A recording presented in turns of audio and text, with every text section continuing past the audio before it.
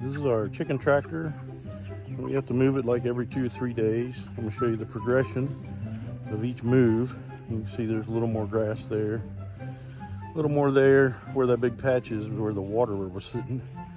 More grass growing up, more grass. This is like a half a move. This is where we started. You can't even tell they were there.